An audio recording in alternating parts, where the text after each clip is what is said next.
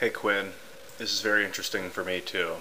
I think it's very interesting you said evolution. It's not about religion, it's not about God, it's not about that. It's about using those things to facilitate a political ideology. Evolution.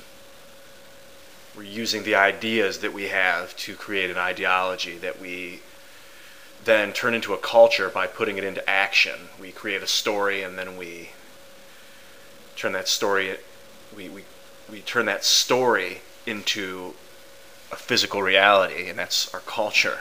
And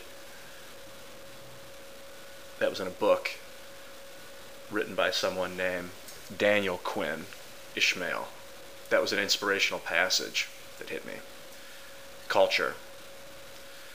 Uh, that's not why I wanted to make this. I didn't want to talk about that. But essentially, you did say one thing that you thought uh, religion, politics wasn't co opted by religion, but that religion has been co-opted by politics. That it was the other way around, and that, that politics has kind of taken religion and and used it. But I think that it's religion was politics for so long. In what they call the Dark Ages, in the Middle Ages. Like you know, the king was God. Even in like the Egyptian time, I mean, it was the same thing. There was no other than the spiritual society where the leader was God or the the manifestation of God and all the other people essentially suffered, except for maybe like family or the people just around the, the god king. And in the Middle Ages, the king was like, uh, what the hell is that called when it's like something rule, not deity. Well, there's the hereditary rule, but then there's the uh, divine, divine something, divine inspiration divine leader, divine right. That's it. Divine right. So they had the right to be the king because they were chosen by God. That's that's like the, the history of religion is like politics.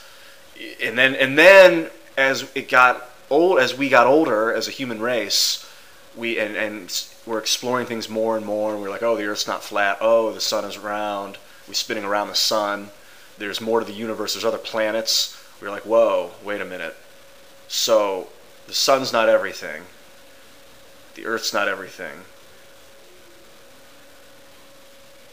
There's there's the other. I, I, I started to get a little hung up in my mind just then. We as we came through this, this is difficult for me to maneuver religion we we decided to split it up into religion and politics, and politics became something separate where we voted. What like militaristic in the 1600s, the king. At that point, were they still like the son of God, or were they still like divine right? I don't know.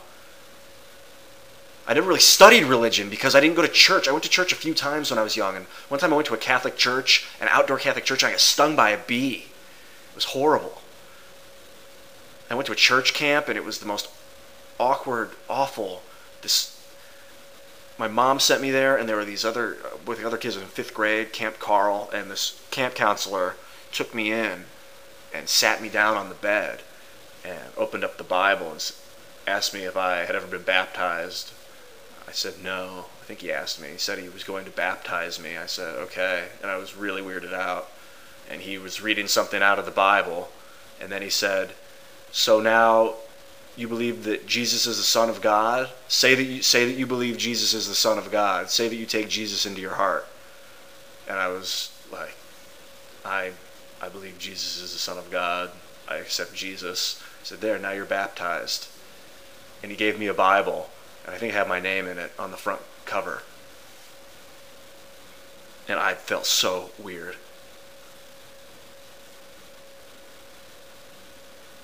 I felt so coerced, so manipulated.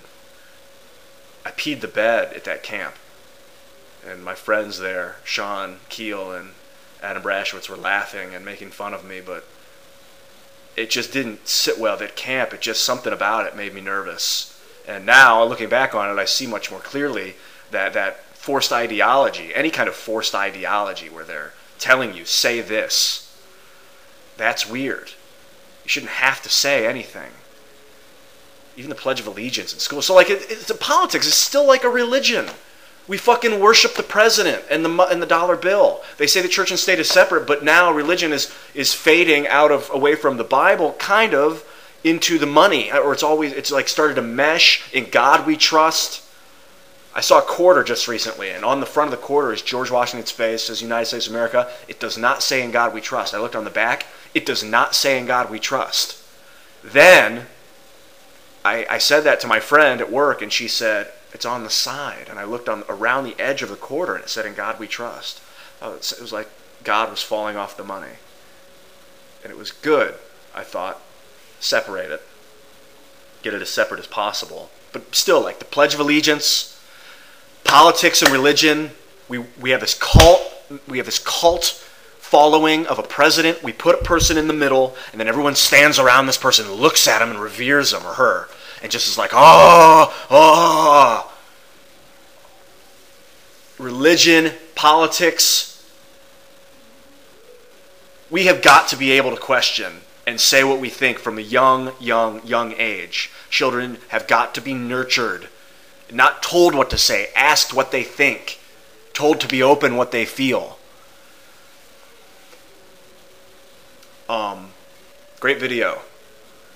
I like that you called it revolution, but also you called it evolution. Those two words have very deep meaning to me. See you, Quinn. See you, Quinn.